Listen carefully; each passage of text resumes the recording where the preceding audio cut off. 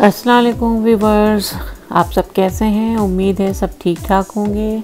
Welcome back to my channel आज जो है, मैं आप लोगों के लिए आलू के समोसे की रेसिपी लेके आई हूँ। अभी जो है, मैंने आप लोगों को पहले समोसा पट्टी और स्प्रिंग रोल शीट सिखाई है तो उसके बाद जो है, मैंने सोचा कि आलू के समोसों की रेसिपी बताई जाए तो आप इसको जो है बनाकर आराम से जो है फ्रीज़ कर दें। और अगर आप लोग को कीमे की रेसिपी चाहिए तो मेरे चैनल पे कीमे की रेसिपी पहले से मौजूद है, मैं उसका लिंक दे दूँगी तो आप वहाँ से देख लीजिएगा। इसके लिए हमें बॉयल्ड आलू चाहिए, उसमें जो है एक चम्मच ज़ीरा पाउडर डालेंगे, एक टीस्पून चाट मसाला डालेंगे सॉल्ट वन टीस्पून डालेंगे कुटी हुई लाल मिर्च एक टेबल स्पून डालेंगे। मिर्चें आप अपनी मर्ज़ी के मुताबिक कम और ज़्यादा कर सकते हैं। अब इसके लिए हम इसमें एक भगार डालेंगे, एक टीस्पून ऑयल लेके। उसमें आधा टीस्पून सौंफ डालेंगे और क्यूमिन सीड जो है, वो वन टीस्पून डालेंगे, साबित जो है। और कलौजी जो है, वो वन टीस्पून डालेंगे। और बस हल्का सा इसको भूनेंगे। तेल में। तेल जो है बिल्कुल कम रखिएगा, एक टीस्पून ही डालिएगा। इससे ये होगा कि समोसों में एक बहुत अच्छा फ्लेवर आ जाएगा। तो आप इस तरह से बनाकर देखें, बहुत ही ज़बरदस्त समोसे बनेंगे। अब इसमें जो है मैंने एक टेबल स्पून जो है चॉप हरी मिर्चें डाल दी हैं। चॉप प्याज डाले है तीन टेबल स्पून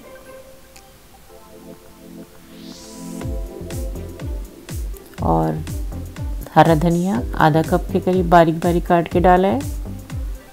इन सब चीज़ों से बहुत अच्छा फ्लेवर आएगा। और फिर इसमें मैंने एक कप के करीब मटर डाला है। हल्का बॉईल किया हुआ है हाफ़ बॉईल किया हुआ है ये मटर।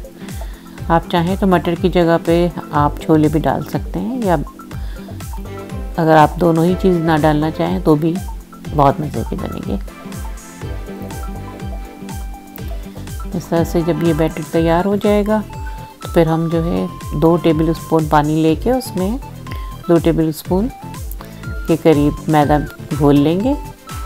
ये सलरी सी बन जाएगी लई की तरह से। इसको हम चिपकाने के तौर के लिए यूज़ करेंगे। अभी जो हमने समोसा शीट्स वगैरह तैयार की थी तो अब इससे जो है हम समोसे तैयार करेंगे। आलू के समोसे, कीमे के समोसे की रेसिपी पहले से मेरे चैनल पे मौजूद है व्यूवर्स तो आप जो है वहाँ से देख लें।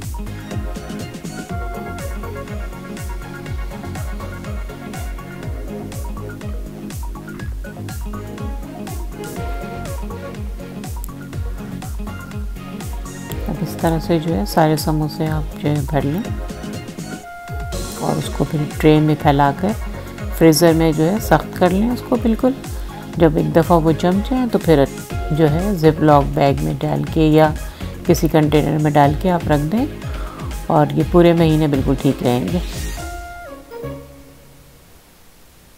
आराम से जब ज़रूरत हो तो आप निकाल के तल लें। अगर ये दो चार काम प्रैप अप कर लें पहले से तो फिर रमज़ानों में जो है, बिल्कुल भी टाइम नहीं लगता अफ्तार तैयार करने में।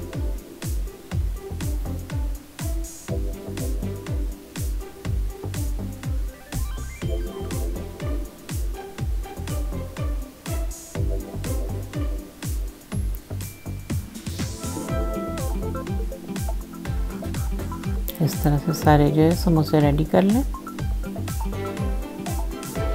उम्मीद है कि आप लोगों को समझ आ गया होगा किस तरह से फिल करना है।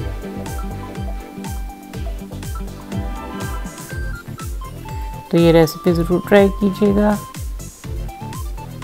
और इस तरह से ही जो है आलू का मिक्सचर आप बनाएँ। बहुत ही टेस्टी बनता है।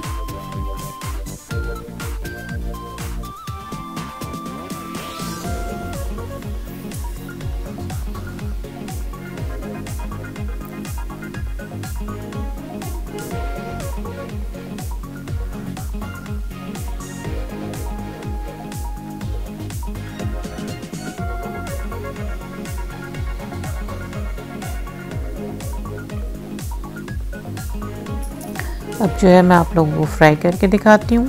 मीडियम हॉट ऑयल में जो है आप इसको डालें। अगर आपने फ्रीज़र से निकाला है तो मीडियम टू लो रखेंगे फ्लेम ताकि आहिस्ता आहिस्ता पके। लेकिन चूँकि मैंने तो अभी फ्रेश बनाया है तो मैं मीडियम आँच पे जो है इसको फ्राई कर रही हूँ। दोनों तरफ़ से जब गोल्डन ब्राउन हो जाए तो उसको जो है फिर मैं डिश आउट करती हूँ। इसको जो है आप किसी भी चटनी के साथ या केचप के साथ सर्व कर सकते हैं। बहुत ही मज़ेदार बनेंगे ये।